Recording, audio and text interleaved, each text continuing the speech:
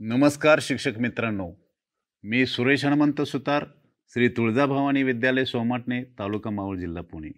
मी गेली सव्वीस वर्ष गणित आणि विज्ञान या विषयाचं अध्यापन करतो आहे व्हिडिओच्या माध्यमातून गणित विषयामधील म्हणजेच भूमितीमधील पायथ्यागोरसचे प्रमेय किंवा सिद्धांत हा जो अवघड वाटणारा भाग जो आहे तो आपण सोप्या पद्धतीनं करून कसा सांगायचा आणि हा विषय मुलांना आनंददायी वातावरणामध्ये आवडीने ती मुलं कशी शिकतील हे आपण अध्यापनाच्या तंत्राद्वारे किंवा कृतीयुक्त अध्यापनाने कसं शिकवायचं मी या ठिकाणी तुम्हाला सांगणार आहे.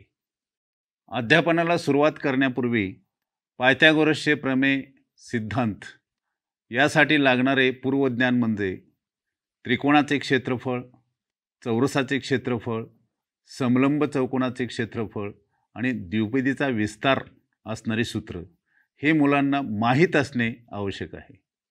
इयत्ता सातवीमध्ये मुलांनी पायथॅगोरसचा प्रमेय सूत्रे याचा अभ्यास केलेला आहे. मग त्यांची उजळणी म्हणून आपण त्यांना काटकोन त्रिकोण तयार केलेले मग ते कार्डशीटचे असो किंवा ॲक्रेलिकचे असो असे तयार करून त्यांना दिले. आणि त्यामध्ये काटकोन त्रिकोणाचे काटकोन करणाऱ्या बाजू आणि कर्ण त्यांना ओळखायला सांगितले. काटकोन त्रिकोणामध्ये काटकोन करणाऱ्या बाजू आणि कर्ण समजल्यानंतर जो त्रिकोण आहे तो त्रिकोण वेगवेगळ्या पद्धतीनं फिरवून दाखवा. म्हणजेच या ठिकाणी कर्ण जो आहे तो कर्ण काटकोन कोणासमोरील बाजू जी असते ती कर्ण असते त्यांना समजेल. आता आपण जी कृती केलेली आहे त्या कृतीमध्ये आपण कोणकोणत्या पद्धतीनं त्यांच्याकडून उत्तरं काढली हे आपण या ठिकाणी पाहूया. सुरुवातीला कृतीमध्ये त्रिकोण दिलेले आहेत आणि त्या त्रिकोणामध्ये काटकोण करणाऱ्या बाजूवरील चौरसांची क्षेत्रफळे मोजायला सांगा आणि मोजून झाल्यानंतर कर्णावरील चौरसाचे क्षेत्रफळ मोजा. आता त्यांना दिसून येईल की कर्णावरील चौरसाचे क्षेत्रफळ हे उरलेल्या दोन बाजूवरील चौरसांचे क्षेत्रफळा इतके असेल. आता हे त्यांच्याकडून आपल्याला मिळेल. आता त्यानंतर त्यांच्यामधील जिज्ञासा वृत्ती किंवा शोधक वृत्ती काढून घेण्यासाठी तुम्ही त्यांना काही प्रश्न विचारू शकता. आणि ते प्रश्न म्हणजे समजा त्यांना असं विचारलं की कर्णावरील चौरसाचे क्षेत्रफळ हे जर इतर दोन बाजूवरील चौरसाच्या क्षेत्रफळापेक्षा मोठं असेल किंवा लहान असेल तर तो कोणत्या प्रकारचा त्रिकोण असेल? आता या पायथ्यागोरसच्या सूत्राचा वापर किंवा पडताळा म्हणून मुलांना तुम्ही विविध मापांचे काटकोन त्रिकोण देऊ शकता. आणि देऊन त्यांच्या काटकोन त्रिकोणामध्ये असणाऱ्या काटकोन करणाऱ्या बाजूंची लांबी कर्ण हे मोजून पायथ्यागोरसच्या प्रमेयाचा पडताळ तुम्ही पाहू शकता. पायथ्यागोरची सिद्धता अनेक कृतींद्वारे देता येते. पण मला आवडलेली आणि मुलांनासुद्धा अतिशय मनोरंजकरित्या आवडलेली एक कृती मी शाळेमध्ये करून घेतली. ती म्हणजे मुलांना चार काटकोन त्रिकोण समान मापाची द्यायची. आणि मुलांचे चार किंवा पाच असे मुलांमध्ये गट करून ते चार काटकोन त्रिकोण मुलांमध्ये मी वाटले. त्यांना अशी जुळणी करायला सांगितली की त्या काटकोन त्रिकोणाची जुळणी करून त्याच्या आतमध्ये चौरस तयार झालेला असला पाहिजे. मी असे काटकोन त्रिकोण त्यांना दिले आणि प्रत्येक गटाचं ऑब्झर्वेशन किंवा निरीक्षण केलं. तर काही मुलांनी त्या काटकोन त्रिकोणाचा पतंग बनवलेला होता. काही जणांनी आयत तयार केलेला होता. मग योग्य जुळणी करणारा एक गट दिसला आणि त्या गटाकडे मी गेलो.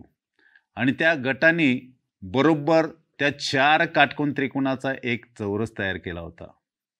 मग त्यांना मी विचारलं तर याच्यामध्ये किती चौरस तयार झाले? तर काही मुलांनी उत्तर दिलं एक मोठा चौरस तयार झाला आणि त्याच्या आतमध्ये एक चौरस तयार झाला. मग त्या गटाला मी उठवलं आणि समोर नेलं आणि त्यानंतर त्या चार काटकोन त्रिकोणाने जी जुळणी केलेली आहे त्या जुळणीची आकृती मी फळ्यावर काढली आणि त्यानंतर त्यामध्ये तयार होणारं जे सूत्र आहे त्याचं स्पष्टीकरण मी केलं.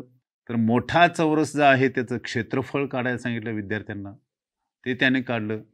आणि त्यानंतर मग आतमध्ये मोठ्या चौरसाच्या आतमध्ये ज्या पाच आकृत्या होत्या त्या म्हणजे कोणत्या? तर चार काटकोन त्रिकोण आणि त्यांनी आत तयार केलेला एक चौरस. अशा पाच आकृत्यांचं क्षेत्रफळ हे कुणाबरोबर असेल? तर त्या मोठ्या चौरसाबरोबर असेल. असं एक समीकरण फळ्यावर मांडलं आणि ते समीकरण खाली द्विपदीच्या विस्ताराचा वापर करून ते समीकरण खालपर्यंत असं सोडवून काढलं. तर शेवटी आपणाला मिळालं तर सी वर्ग बरोबर ए वर्ग अधिक बी वर्ग. आता या ठिकाणी ही कृती आपण केली. अतिशय मनोरंजकरित्या ही कृती होती. आता त्यानंतर मुलांना असा मी प्रश्न केला. तर मुलांना हे चार काटकोण त्रिकोणाऐवजी मी तर तुम्हाला दोन जर काटकोण त्रिकोण दिले तर हे सी वर्ग बरोबर ए वर्ग अधिक बी वर्ग हे सूत्र शोधून काढता येईल का? आताच आपण कृतीयुक्त अध्ययन अध्यापन पद्धतीचा वापर करून पायथॅगोरसचा सिद्धांत किंवा प्रमेय आपण मुलांना चांगल्या पद्धतीनं कसा शिकवता येईल हे पाहिलेलं आहे.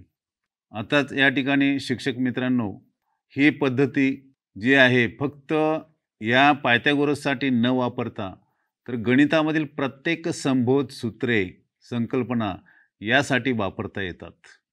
आणि मी तुम्हाला सांगू इच्छितो की या पद्धतीचा वापर केल्यानंतर विविध स्तरातील विद्यार्थी हा आवडीने मनोरंजकरित्या गणित शिकेल. आणि या व्हिडिओच्या खाली तुम्हाला एक लिंक दिलेली आहे. त्या लिंकमध्ये तुम्हाला लेसन प्लॅन भेटेल. लेसन प्लॅनचा सविस्तर अभ्यास करा. त्यानंतर तुमच्या वर्गामध्ये सुद्धा ही पद्धत वापरा आणि पद्धती वापरून झाल्यानंतर तुम्हाला याचा अनुभव काय येईल तो अनुभव आम्हाला शेअर करा. हीच माझी विनंती आहे. धन्यवाद.